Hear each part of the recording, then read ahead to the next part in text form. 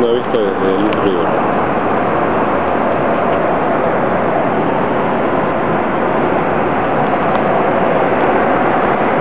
Allá empezamos, mira, más o menos por allá empezamos al fondo.